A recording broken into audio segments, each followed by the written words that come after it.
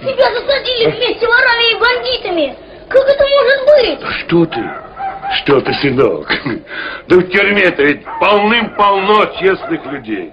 И вообще, хороших-то людей вокруг больше. Так что же они сделали? Ровно ничего, сынок. Вот за это их и посадили. Принцу Лимону порядочные люди не по нутру.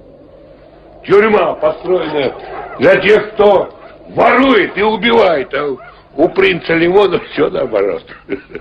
Воры и убийцы у него во дворце.